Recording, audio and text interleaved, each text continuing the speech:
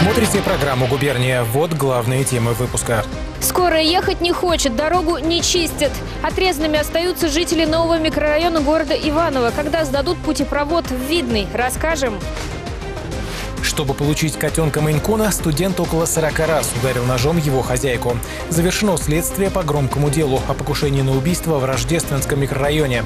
Все подробности и следственное видео сегодня в программе. Сколько привитых лежит в больницах и сколько умерло? Эти вопросы часто поступают в нашу редакцию. Сегодня мы спросили об этом у Артура Фокина. Победитель большой перемены пригласил губернатора в гости, и тот пришел. позвал. Спасибо вам огромное. Мы покажем, куда они вместе сходили и какой совет дал глава региона будущим шеф-поварам. Дебют инклюзивной студии «Дельфин» – проект, который позволит воспитать здоровые отношения к особенным детям. Мы побывали на выступлении в Кохомской школе.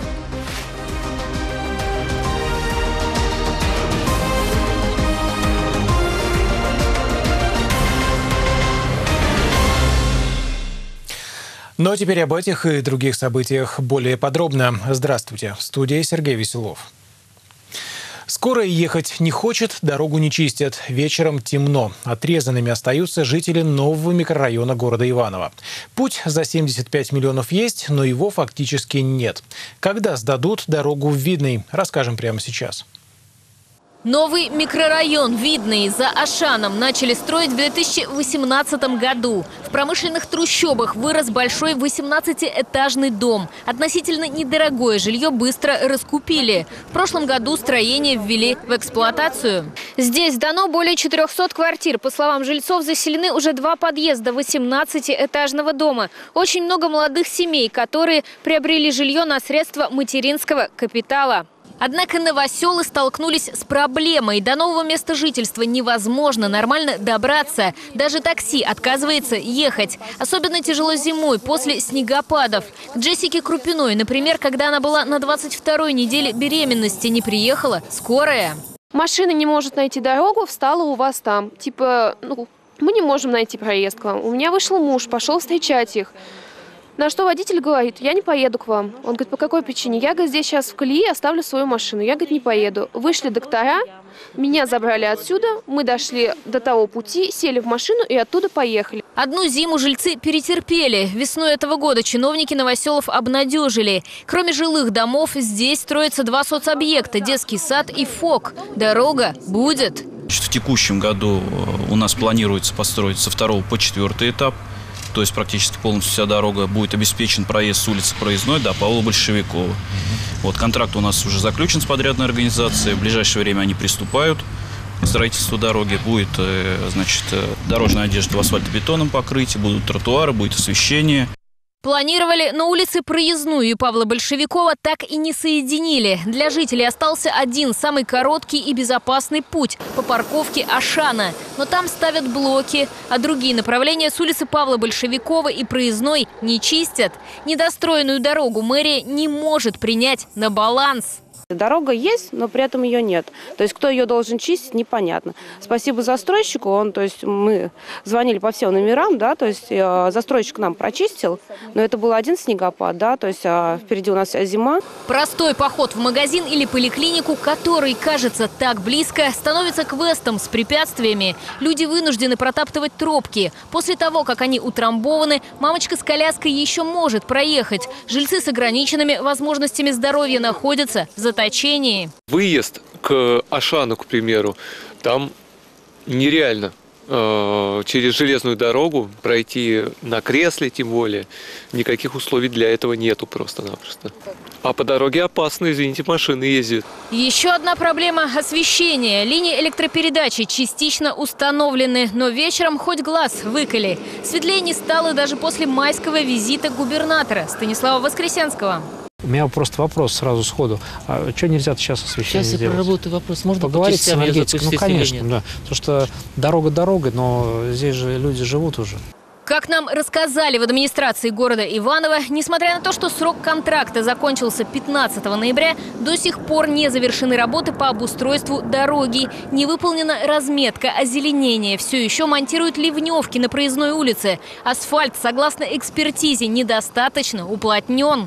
Довода объекта в эксплуатацию затраты на содержание администрации нести не может, поэтому э, с нашей стороны в адрес подрядчика направлены письма о том, что доводы в эксплуатацию они осуществляли э, содержание данных участков дорог. Мы надеемся, что подрядчик доводы в эксплуатацию будет осуществлять, нести затраты на содержание данной дороги. Освещение пока смонтировано лишь частично. Сейчас идет техническое присоединение. Посветлеет в видном, по словам чиновников, только после того, как все работы по обустройству дороги будут завершены и объект введут в эксплуатацию. Не раньше весны. К подрядчику ООО «Мастер» из Александрова за нарушение сроков применят штрафные санкции. Марина Зейна, Григорий Мартьянов, телекомпания «Барс». В Юрьевецком районе в воскресенье под лед провалился мужчина. Это случилось в районе деревни Быстрица. Рыбак хотел на снегоходе переехать на другой берег, но провалился в полынью. Спасти его не удалось. Сотрудники ГИМС достали тело погибшего. А вот субботнее происшествие в Юрьевце закончилось благополучно.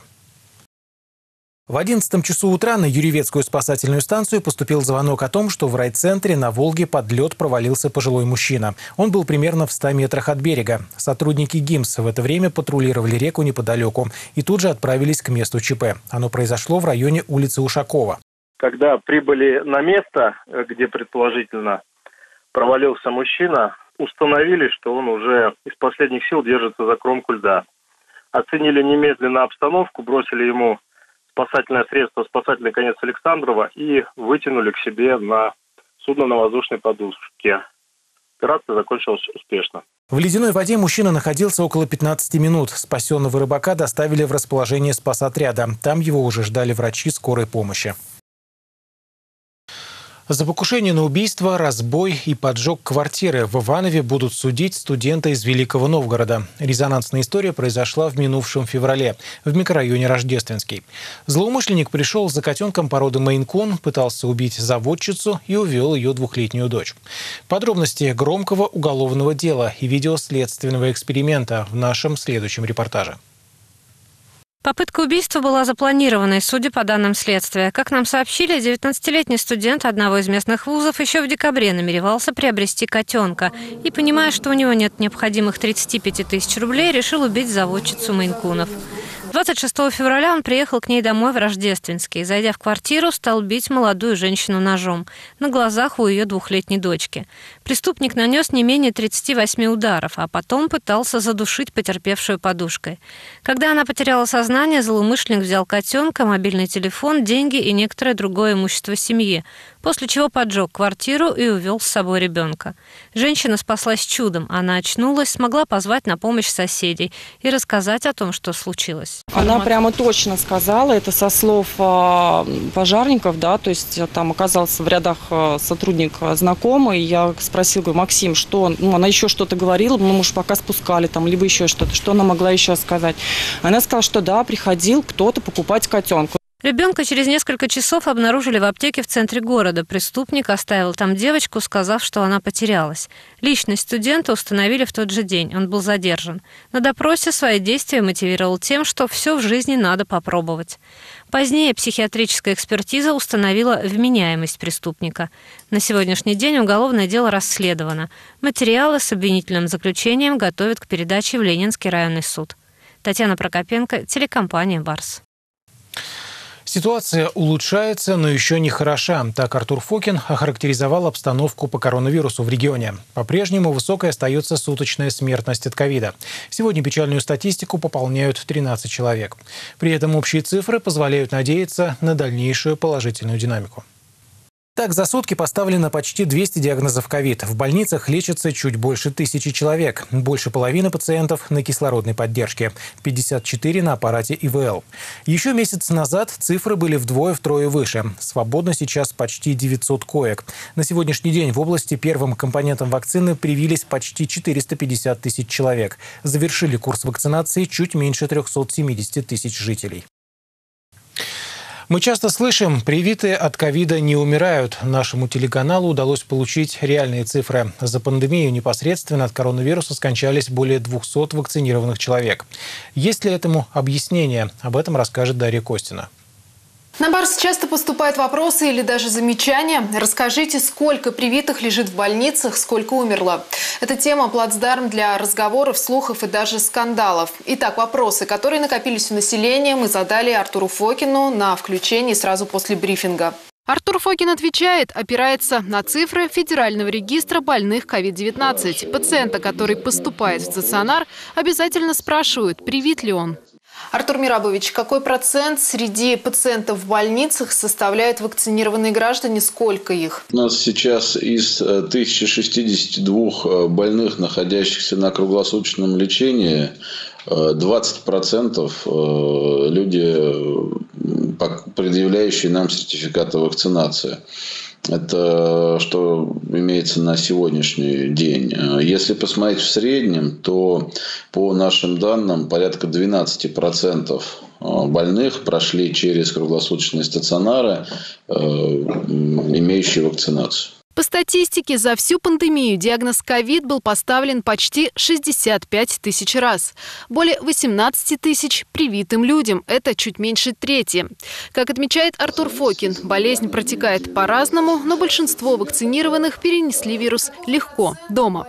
В больнице чаще госпитализировали пожилых пациентов с серьезными хроническими заболеваниями. Например, на сегодняшний день у нас ни один вакцинированный не находится в реанимации, не находится на аппарате ИОЛ.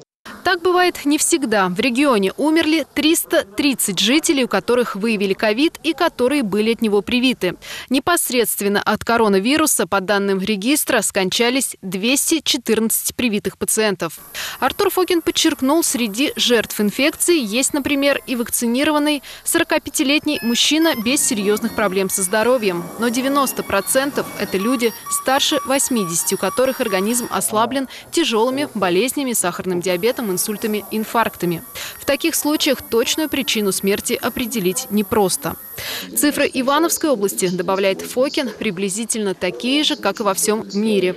Вывод главный медик региона делает такой. У нас ну, из полумиллиона фактически вакцинированных людей заболело всего 18 тысяч. То есть это 4%. А, а умерло 330 человек, это 0,07%. Ну, наверное, вот эти цифры красноречивее любого врача, они покажут эффективность вакцинации. Об эффективности вакцины от нового штамма омикрон Артур Фокин говорить не стал. Информации мало. Известно о шести десятках заболевших в стране. А, мы э, тоже у ряда лиц, которые к нам въезжали из э, африканских стран, э, из Египта, из Эмиратов, берем мазки ПЦР и при высоком титре отправляем в центральные научные институты для того, чтобы они секвенировали этот штамм, но пока нам информация о циркуляции на территории Ивановской области микрона не приходила. Поступаемая информация, добавил Артур Фокин, противоречивая. Одни эпидемиологи считают омикрон более заразным, но якобы болеют им легко. Другие делают выводы о высокой летальности от его последствий. Дарья Костина, Григорий Мартьянов, телекомпания «Барс». Сейчас короткая реклама. Оставайтесь с нами, и вот что вы увидите во второй части выпуска. Победитель большой перемены пригласил губернатора в гости, и тот пришел. позвал. Спасибо вам Мы покажем, куда они вместе сходили и какой совет дал глава региона будущим шеф-поварам. Дебют инклюзивной студии «Дельфин» – проект, который позволит воспитать здоровые отношения к особенным детям. Мы побывали на выступлении в Кохомской школе.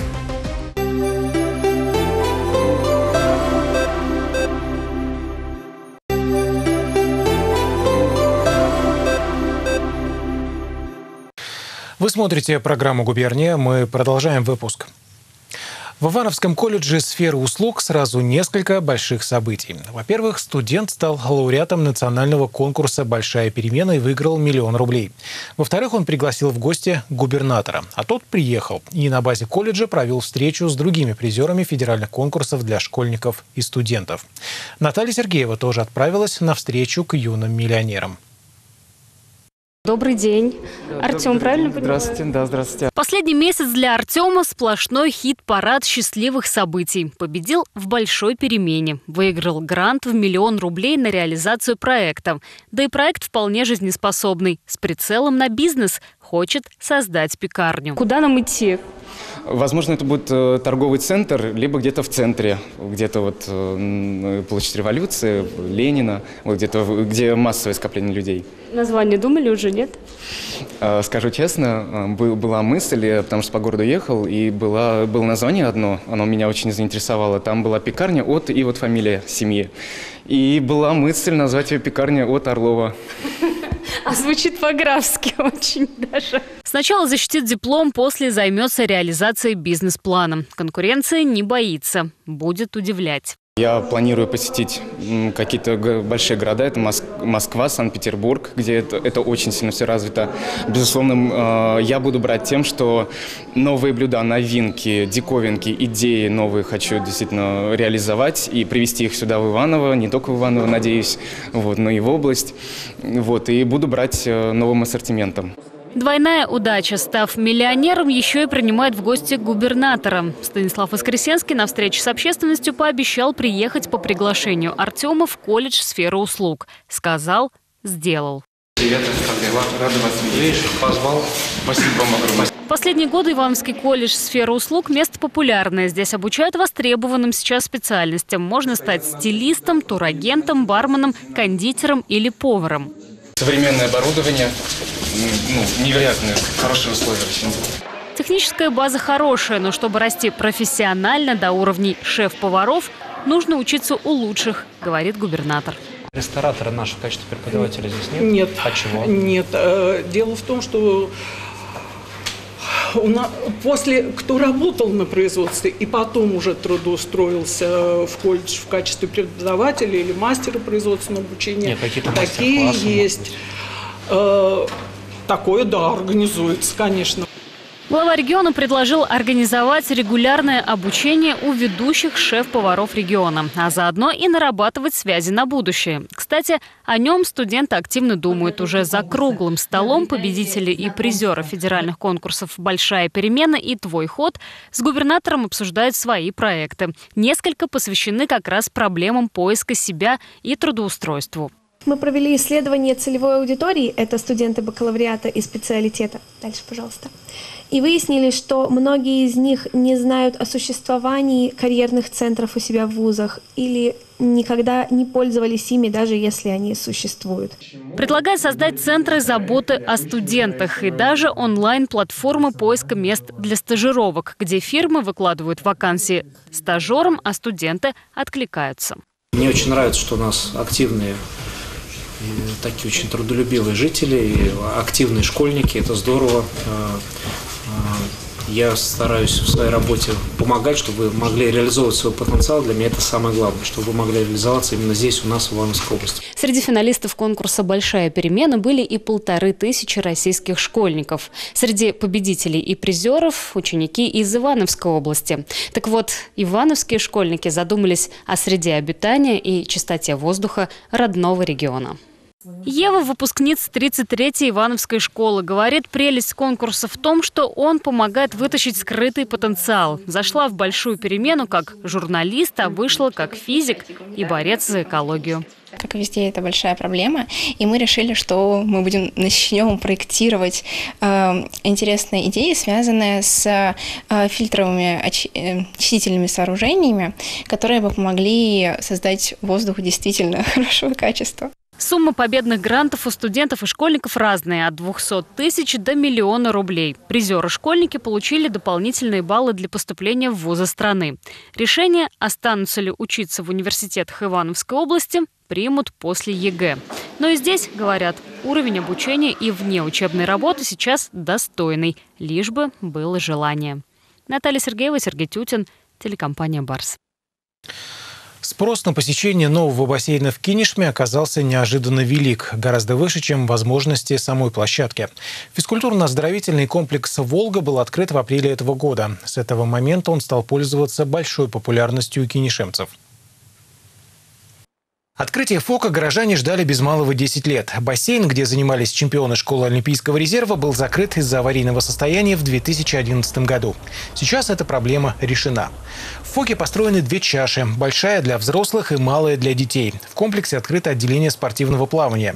В нем сформировано 14 возрастных групп. Это более 200 воспитанников. В рамках досуговой деятельности бассейн посещают школьники и кадеты. Здесь тренируются две городские сборные – ветеранов спорта и паралимпийская – Открыты пять платных групп обучения плаванию, а также свободное посещение по хозрасчету для любителей. В бассейне установлено современное техническое оборудование, которое обеспечивает качественное обеззараживание воды. Дозация хлорки и щелочи идет э, компьютерная. То есть здесь человек в этом участие не принимает. Э, Все это делает машина в миллиграммах. Там, как только компьютер определяет, что недостаточно, все это добавляется в воду. Те, кто ну, посещали другие бассейны, э, говорят, что вот именно наличие хлорки здесь настолько минимально, что очки, даже те, кто в других бассейнах использовали очки, они здесь очки не используют. Как воспитать в обычных детях здоровые отношения к особенным ребятам? Как помочь им наладить взаимо взаимодействие и стереть барьеры? С таким проектом инклюзивная студия «Дельфин» планирует максимально объехать все ивановские школы. Со спектаклем, принесшим им победу на Всероссийском фестивале, ребята приехали в Кохумскую школу номер пять. Об этом наш следующий репортаж. В инклюзивной студии «Дельфин» совместно занимаются как здоровые дети, так и ребята с особенностями развития. В пятой Кохомской школе у них дебют. Приехали не за славой, за общением. Наша студия занимается третий год театральной деятельностью. Мы делаем пластические спектакли, где есть место песни, слову, а, танцу. И все дети создают общий такой театральный фон групповой. И поэтому у нас как будто бы нет главных ролей, то есть мы как единый организм передаем суть спектакля. Не так давно в Иванове прошел фестиваль «Уникальные люди». Студия «Дельфин» впервые решила поучаствовать. Победа. Дипломанты первой степени. Награду помог завоевать спектакль под названием «Кролик Эдвард». Эдвард жизнь свою получил, но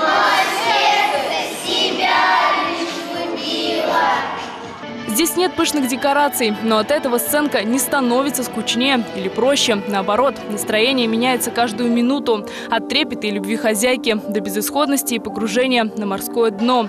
С подобными проектами студия планирует максимально посетить все школы Иванова и области. Родители школьников, к слову, этому безмерно рады. Говорят, важно воспитывать в детях не только здоровое тело и дух, но и здоровое отношение к тем, кто отличается. Я очень рада, что они сейчас встречаются с обычными детьми, школьниками.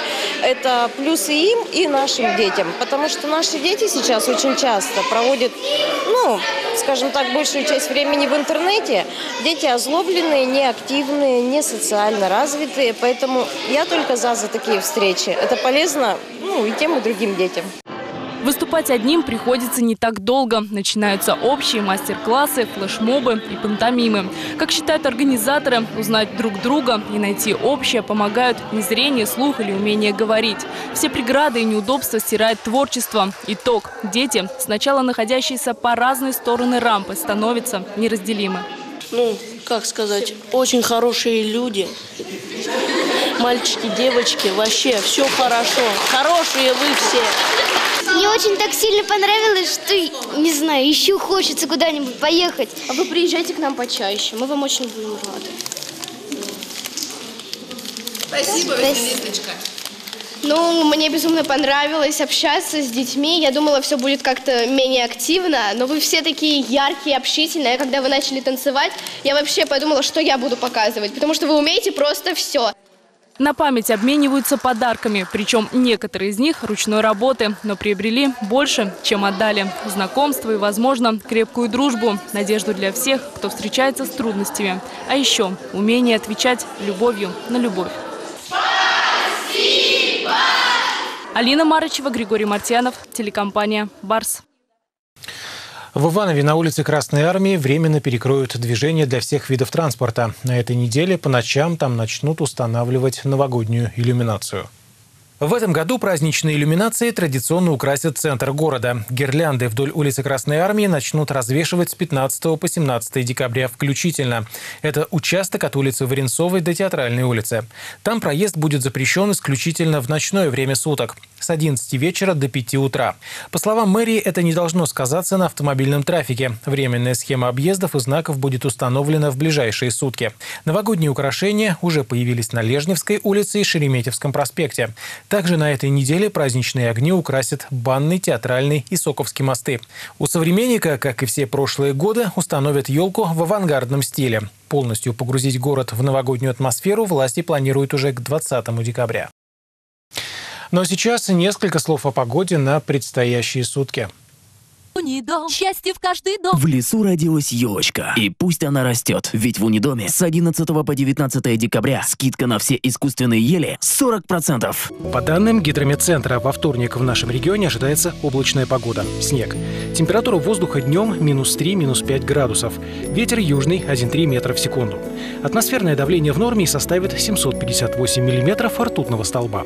Влажность воздуха 93%. В середине недели синоптики обещают потепление потепление до плюсовых значений и осадки в виде дождя и снега.